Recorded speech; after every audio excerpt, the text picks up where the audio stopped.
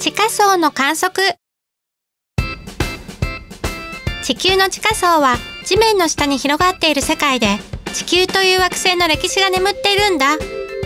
海洋の下に眠っている世界でもあって未だに謎と秘密の多い世界なんだ。最新のリモートセンシング技術を使うと地下層を潜ったり掘ったりする必要なく観測できるんだ。地下層の現象は地上にも影響するから計測装置で集めたデータを解析してわかる予測と地上の観測データと比べて照らし合わせることができるんだ。衛星に搭載される計測装置は地下深くまで観測することができません。ところが地下深くにはその地域の歴史や地球全体の歴史に関するさまざまな秘密が眠っていますこのため地下深くを観測できる新しい観測技術を開発することがとても重要です。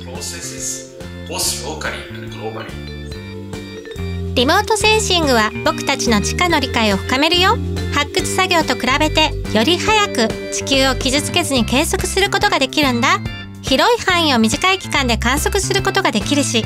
繰り返し何度も観測し時間的変化を観測することもできるんだ。計測装置を使えば様々な用途で地下層を観測することができるんだ。例えば石油と天然ガスの探索。数十年前有機物が少しずつ石油へと変化してきたんだ。これまでは石油を地上から見つける方法はなかったんだ。音波をレーダーとして使うソナーでは地下に眠る様々な物質から反射してくる音で石油を見つけることができるんだ。古代文明の発見。古代遺跡失われた町ナイル川の底。計測装置は土の特性を測れるから自然に存在する土と埋まっている建築物を見分けることができるんだ。発掘する必要がないから重要な遺跡を傷つける恐れなく発見することができるんだ。開光合成レーダーはマイクロ波を使って飛行機や衛星から観測することができるんだ。地上レーダーは地面を貫通する強いマイクロ波信号を発信して地下から戻ってくる反射を解析するんだ。レーダーの周波数によって発見できるものが違ってくるから様々な物質を探すことができるんだ。堆積物とプランクトンの探査。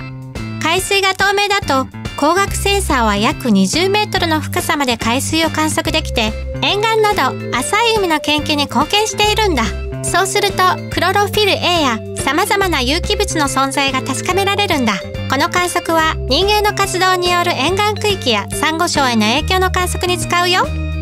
簡単な計測装置で誰でも地下を探索して秘密を探したり宝探しをしたりできるよ。